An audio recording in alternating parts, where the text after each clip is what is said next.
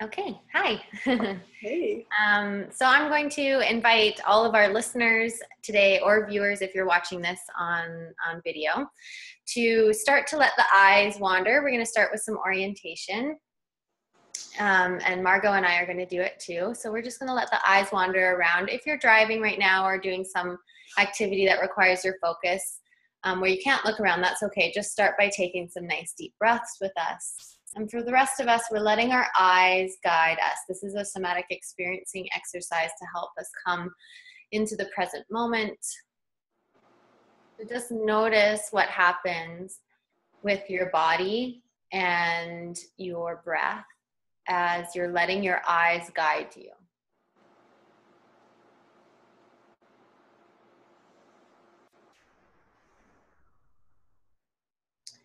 And just notice if your eyes are attracted to something in particular. Just take a moment with whatever it is that they're attracted to. Taking the quality of that thing that your eyes are curious about.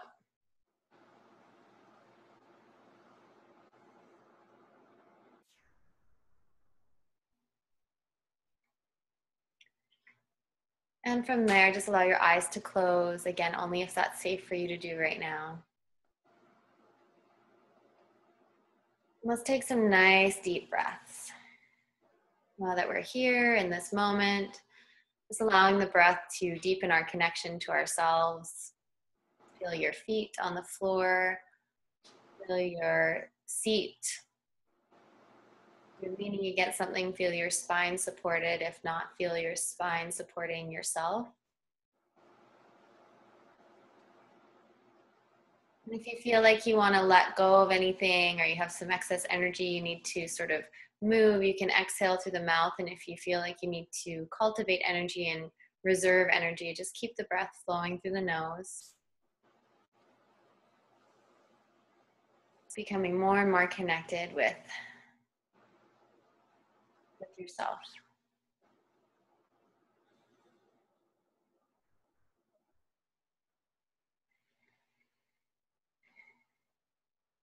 And just a couple more breaths.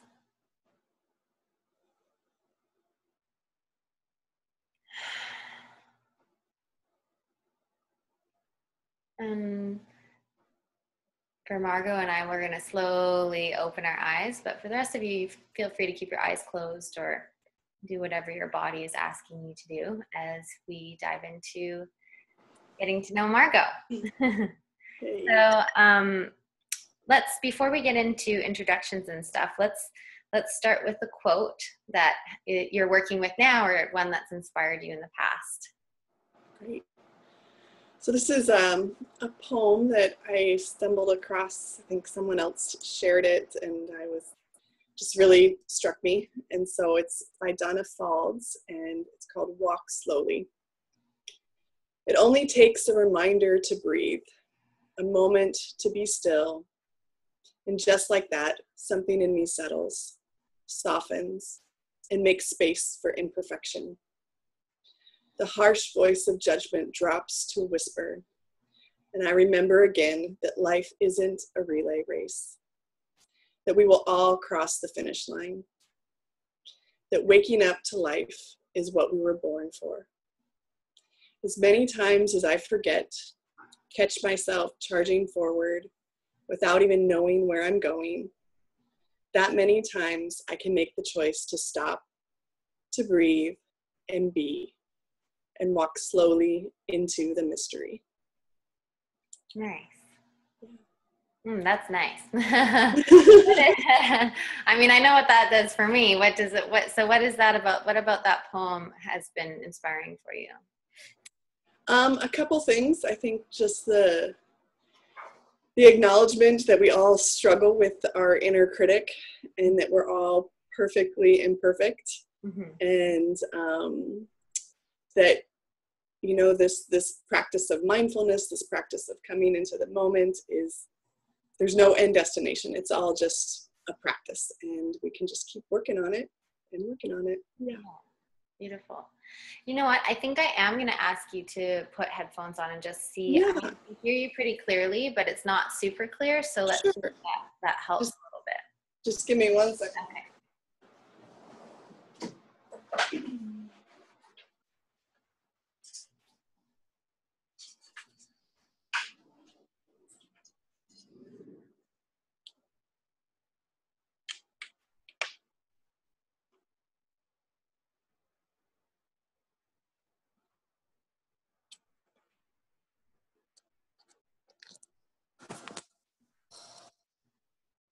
Okay.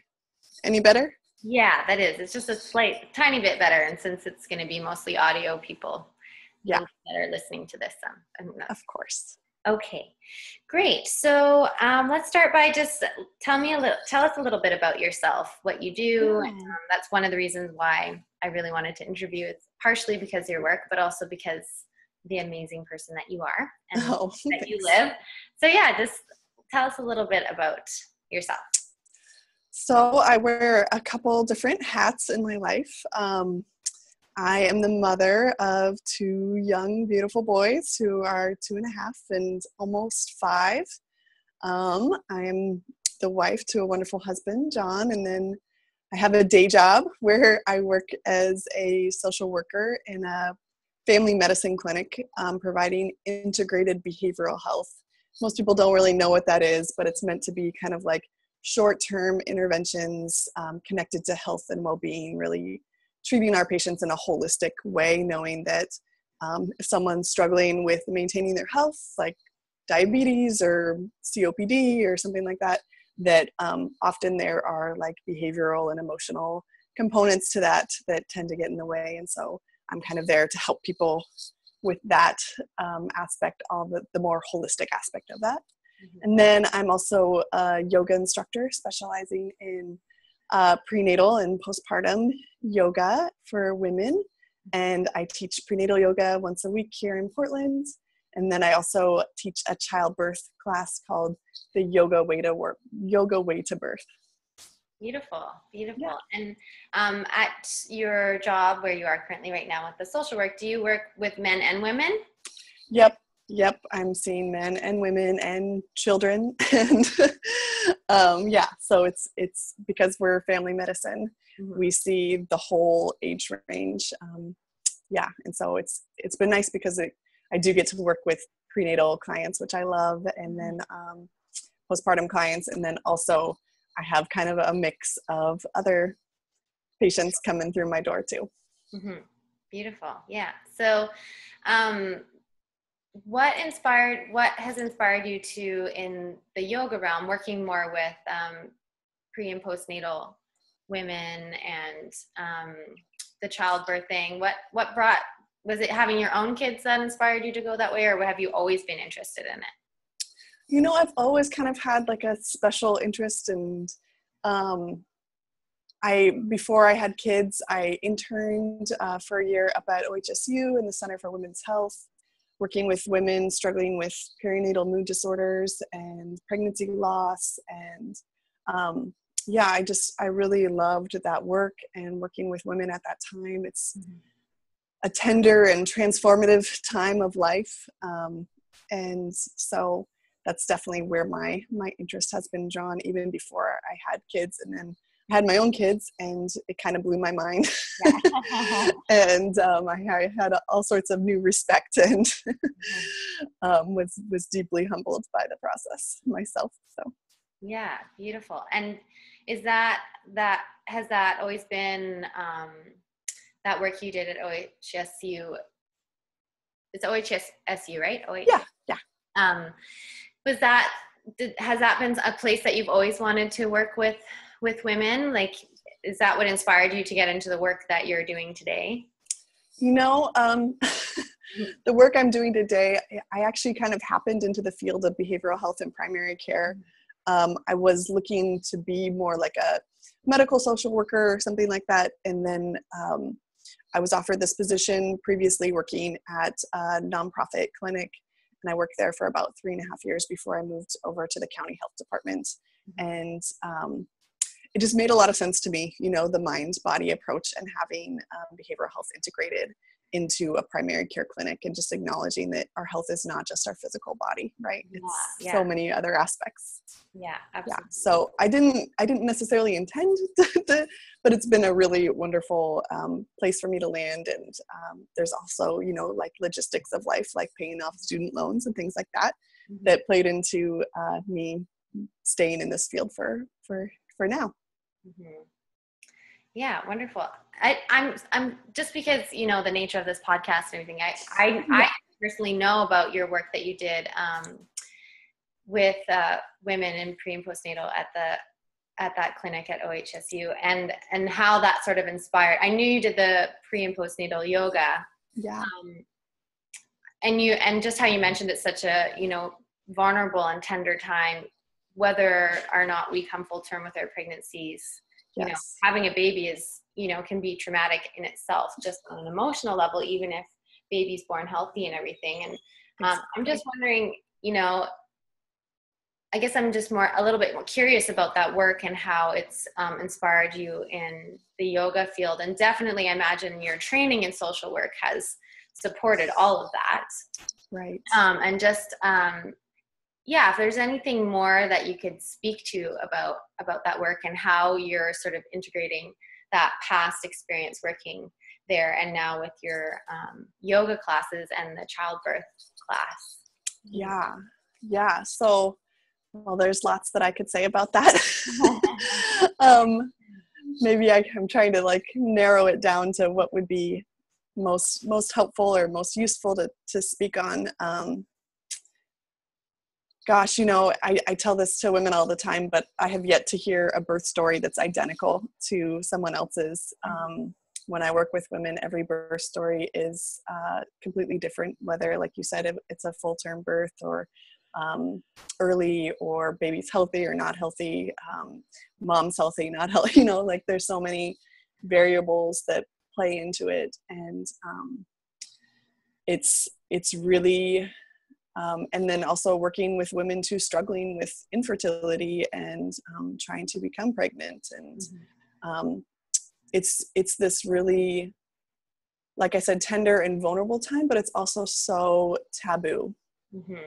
and um, it i think if anything in my work with yoga and then also clinically as a social worker is to um, have those spaces where people feel like they can talk about those things that maybe they're afraid to talk about the things that um, scare them about the experience um, and the things that um, feel taboo or like they're afraid to really to bring up. And i know especially in the yoga way to birth class where we really get to dive into mindfulness and yoga as a way for preparing mind and body for for birth um, we spend quite a bit of time like talking about the fact that birth is um, birth is wild and out of control. And um, our bodies really you know we talk about how a woman in a coma can give birth you know like your mind does not actually have to be a part of this process. It's a very bodily experience.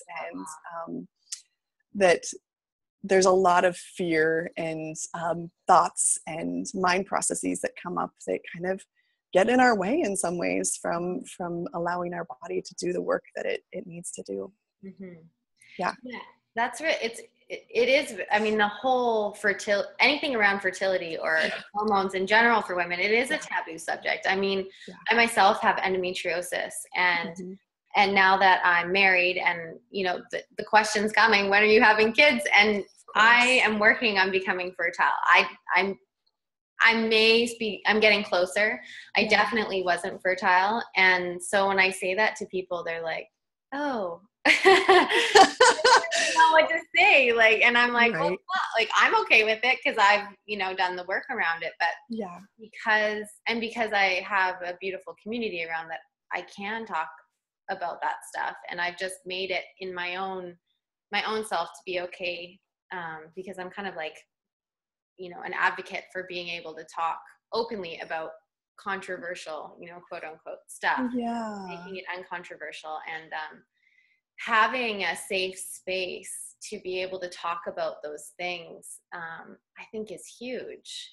Yes. Hmm yeah. Yeah and and so much um judgment that comes up um, and you know people when you bring up something that isn't out of that is out of the normal you know like that um, people have these set ideas and steps that you're supposed to walk through in life you know and mm-hmm. when your journey does not match up with that which the majority of people's does not you know in some way um, yeah. it suddenly becomes this oh we can't talk about that or that's not something i mean yeah yeah so i think that it's super brave of you to speak about that openly and um, says a lot about you that you've done that work that you can share those things and it helps people then unearth it for themselves. Or you know i, I know when i worked um, prior to going to grad school i worked in a domestic violence shelter mm-hmm. and again one of those like taboo subjects that no one wants to talk about but i can't tell you how many times i would say oh i'm an advocate for a domestic and sexual violence program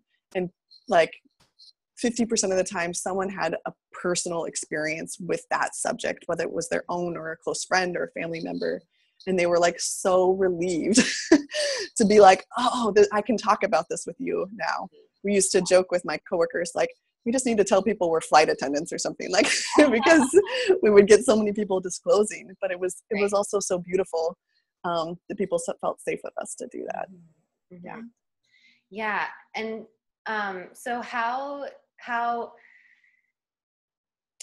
how would you think you know I'm, i love having this conversation or just asking people this question who are kind of like you know advocates like i am like how do you how would you propose um, to make that more easy to talk about? Like you know there's the groups and and and things like that. There's resources that you can go to where you can talk about but i'm more speaking to around like um, peer peers and friends and you know what are what are some steps in your opinion that um, can help all of us be able to be a little bit more um, comfortable with talking about really uncomfortable topics especially as women um, i feel like that that in itself would create a, a, stronger sense of sisterhood like really being able to talk about those things.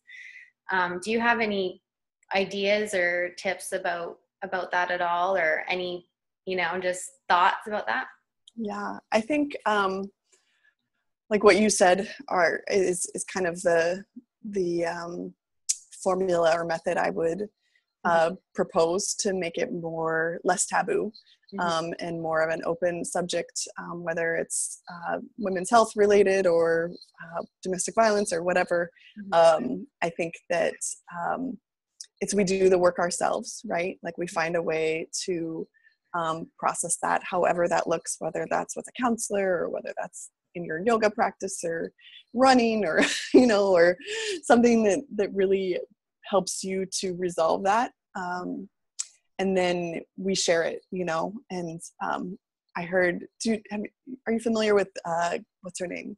Glennon melton doyle.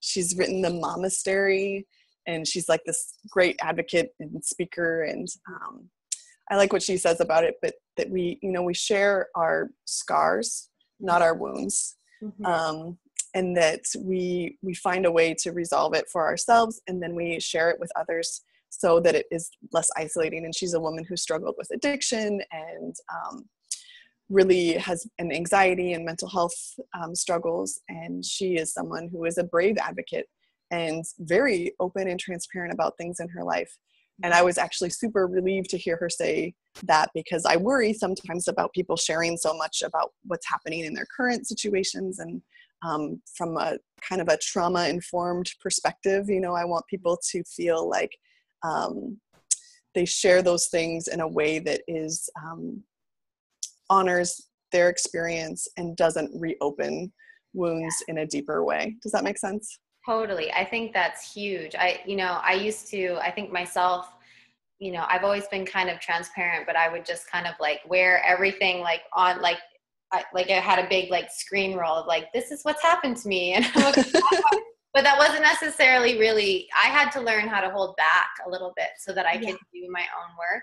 Um, and I think, you know, it can be to like being discerning about who you're sharing it with absolutely when you're sharing it you know all yep. the, all those kinds of things for sure not to just you know blab it out there and hope that you get the response that right. that you that you're hoping to get from sharing but yeah and I, I, I totally agree that's something um i talk i've talked about with quite a few women about how it's it is that i love that i'll have to get you to send me that woman because yeah. i really like that that quote i want to put that up with um, this podcast too but how it is about how we do our own work and then we're able to really share and in sharing that that's where we're inspiring instead of sharing from the wounded place where right. that's just that's a place where you do need that professional you know yeah. support or from really close friends who can really hold you there and not yeah. judge you or get scared or shy away um, because yep. you know like you said every as soon as you said that you are this kind of you know you do this kind of work you had all these people opening up to you and i think it's really true. We have so much trauma that we mm-hmm. haven't even admitted to ourselves you know we know we know someone who knows someone in the very in the very least you know? Yeah. absolutely. Yeah.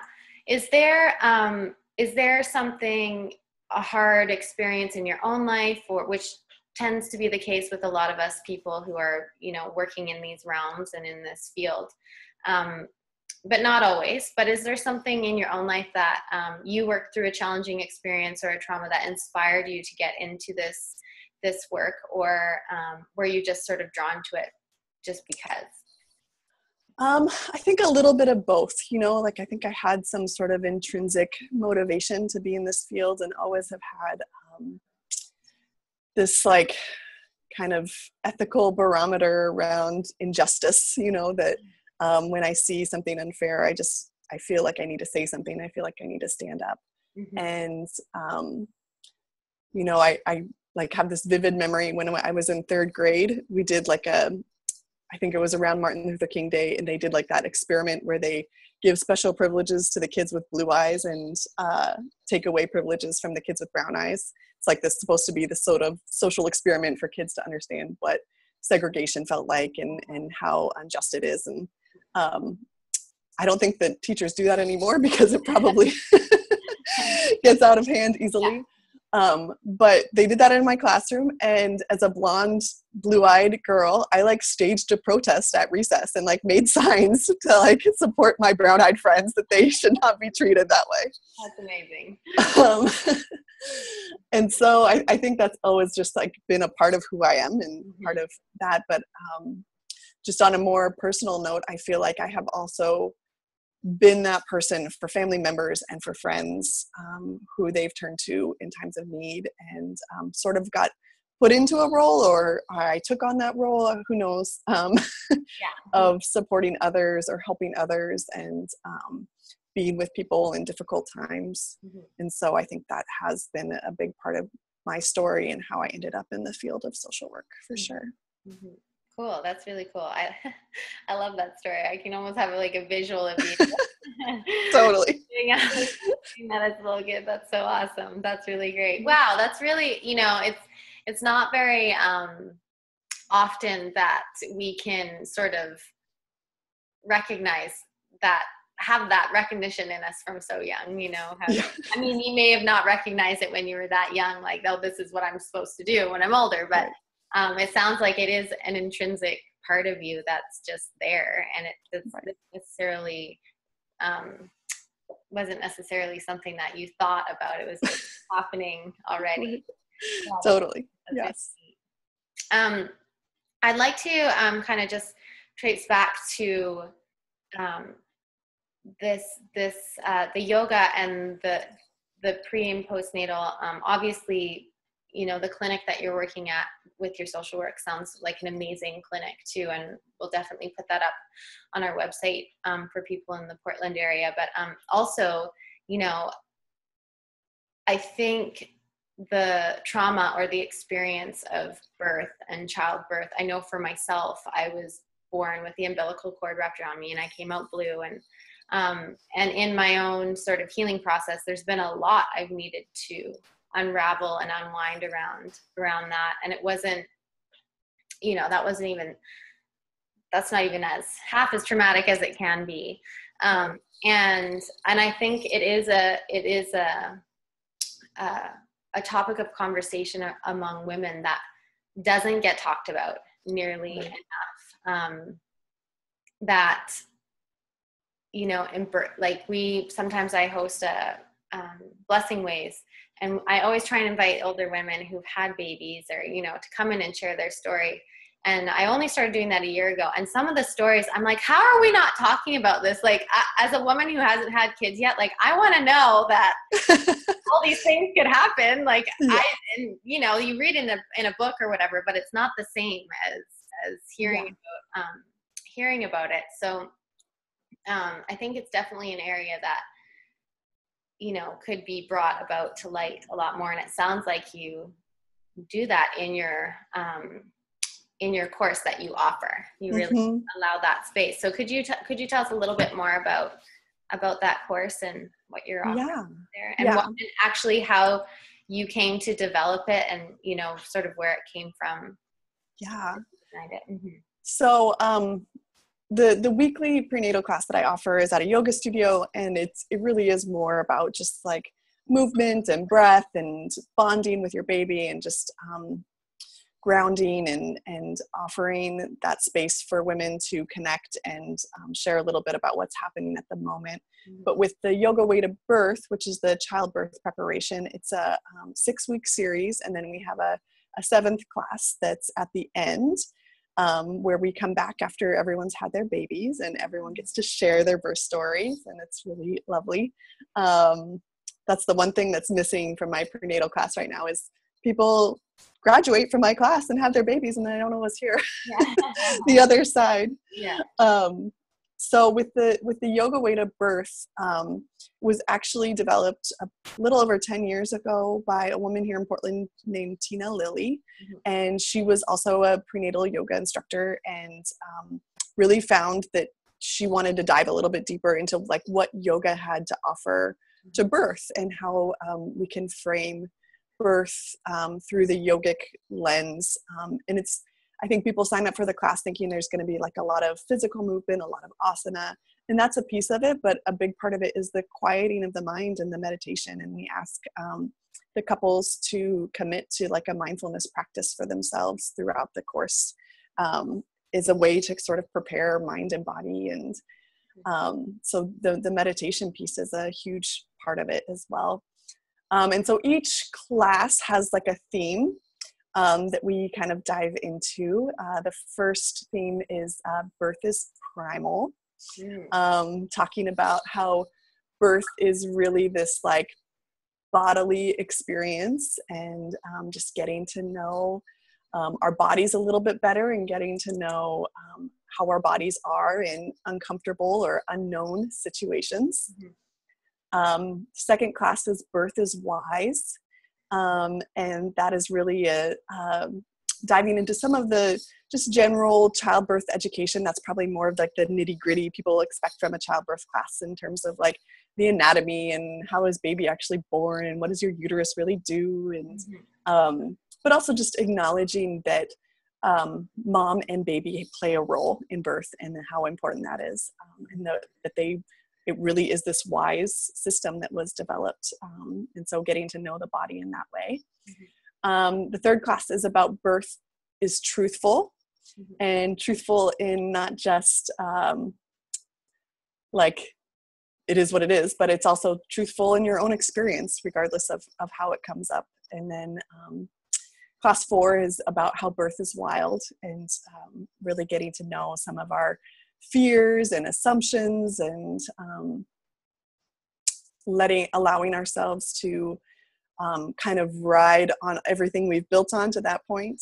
mm-hmm. and then uh, the fifth class is birth is dot dot dot yeah. um, knowing that birth just is what it is um, it's actually more of a movement based class and um, just being with our bodies. And then the final class is birth is patient. And that's the the last class before we end the series uh, before people have their babies. And mm-hmm. so it's often that time of waiting and um, preparing. And it's a little bit longer class. And um, we spend some time just kind of rounding things out. And um, like i said it's this really wonderful and the, the classes like really bond together. And um, we have people who have play groups and nanny shares and yeah. um, dates afterwards and they really it's a it's a wonderful way of preparing mind and body for this upcoming transformative experience however it unfolds and um,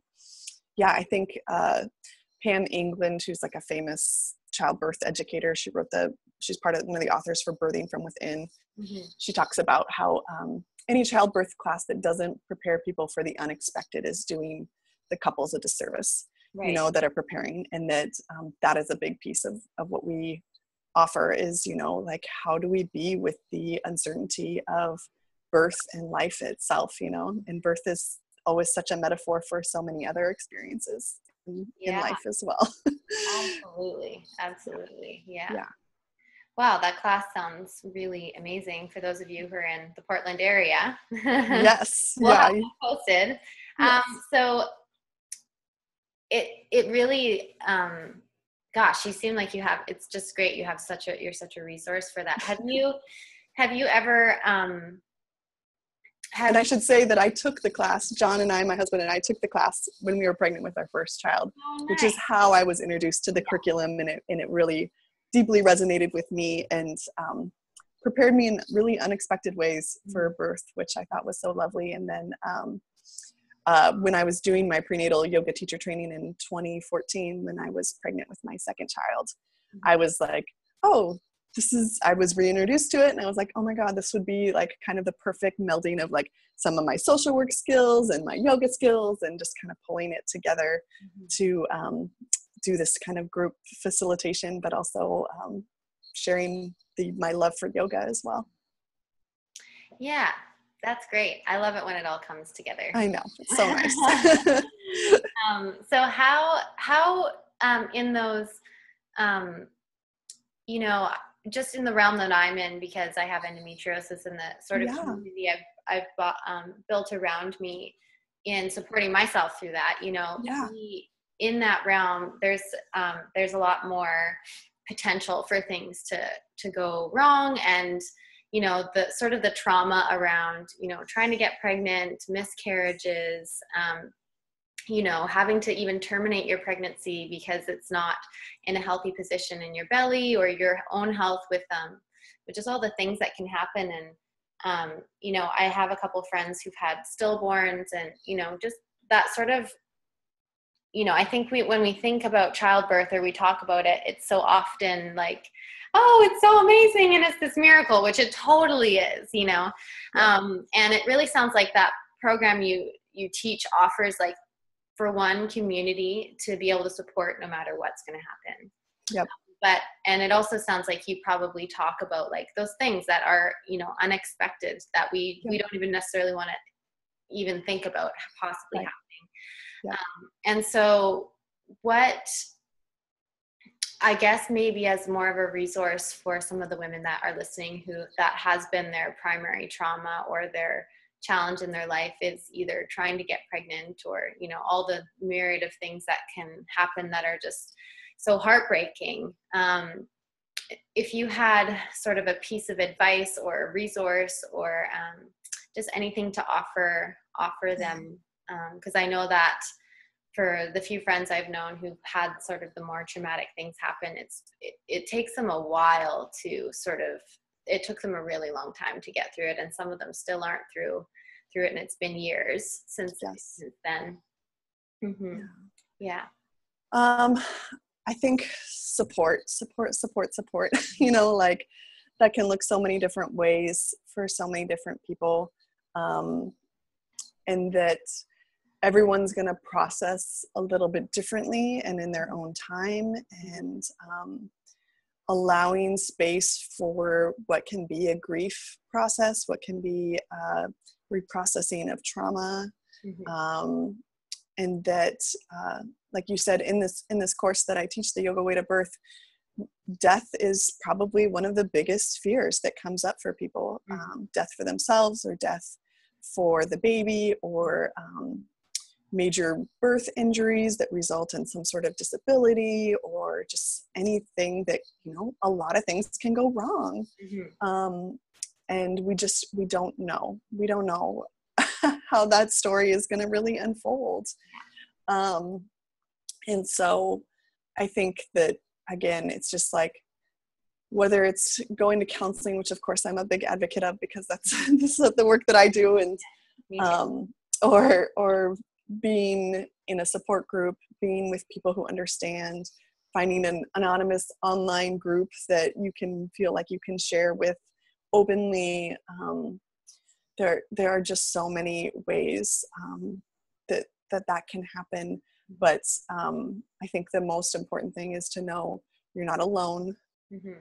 so many people experience that and go through that and um, it shouldn't have to be that isolating experience and mm-hmm. that the isolation that people feel is often a major contributor to the ongoing suffering that can go on with that and that um, yeah yeah again like you said it can be just so heartbreaking mm-hmm. um, going through all of those processes that you mentioned whether it's even just trying to get pregnant and the anxiety or losses or terminations or mm-hmm and our healthcare system is wholly inadequate for supporting women in those yeah. in those situations and um, being forgiving of your providers because you know they're doing the best they can and that um, they are not always trained with talking about those things or how to hold that space for those um, experiences even if they deal with it every single day. Right. Um, yeah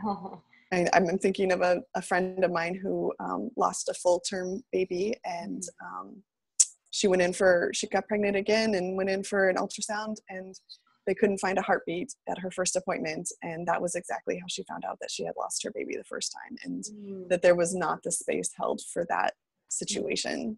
Mm-hmm. That, um, of course, she immediately went into a panic and was re traumatized by mm-hmm. that experience because, I mean, how could you not be right knowing that that's a possibility now right mm-hmm. yeah I, I really you know i think that support piece is so big and you know it's so easy to isolate ourselves and yeah. I think, you know, also like speaking to any women out there who have friends who are going through that to don't be afraid to reach out even if you don't know what to say. Just to yes. say, I'm here for you, you know, and it's okay. Like, um, you know that was a process i personally had to go through because i haven't had any babies yet and i i may not but all, pretty much all of my friends there's a few that haven't but i'm at that age where everyone's you know having babies or getting pregnant yeah. and um, you know to be able to reach out and just you know say that i'm here for you for the other people that are having trouble or have had a loss or, or something like yes. that um, even though i hadn't i couldn't relate at all really at all other than that i'm a woman and i didn't i said i didn't know what to say but it was really I got feedback of like it really means a lot to absolutely. have someone say that you know that to let them know that they're not alone because it feels so isolating and there's a there's a really lovely um, it's an instagram page and she also has a website. It's called i had a miscarriage mm-hmm. um, and it's by a psychologist. Are you familiar with it? No um, and then she also has a, a line of greeting cards that mm-hmm. um, express exactly what you're saying you know like I don't know what to say right now, but I just want you to know I'm here. I'll come clean your house. I'll come, you know, like offering all these things that they could do at that moment. I'll bring you a meal. You can cry. You don't have to say anything. You can say everything, you know, like just offering that open ended kind of support that, that we can offer, especially as other women, even if that isn't your own personal experience you've been through, that, you know, you can be there for that. Yeah. Yeah and that just creates that sense of sisterhood of like absolutely it doesn't matter what our sister is going through we can right for them. Mm-hmm. Yes. Yeah. yeah. Beautiful. Yeah. Well, you've given us some really, really great resources. I'm going to have to go back and listen to this again so I can like jot them down. And if I don't, you know, if you can remember some of the ones you um, uh, mentioned, please send them along so we can post them on our, or any other resources. We'd love yeah. to just um, and information obviously about that course. I think that could be really helpful for for women and um, has there been anyone i mean you've mentioned a few people but has there any been anyone that's sort of been or is currently um, just to close someone who's like really inspired you or um, been inspiring to you whether that's a family member or a friend or a colleague or someone that you look up to in the line of work that you're in? Yeah, you know, I, I I read that question ahead of time, and I had so many people on my list that I don't think that I could even narrow it down to one. Mm-hmm. But I think there's been so many that I have looked to for inspiration, whether mm-hmm. they're professors or teachers from grade school or my mother or my father or you know um, all the the people who have really um, just sort of been there and supported me through so many different things and so many different experiences and um, you know i, I um, feel like resiliency is a big part and bolstering people's resiliency is a part of what i do and helping people. And i think that we all need our like army of cheerleaders around us. And so um, absolutely.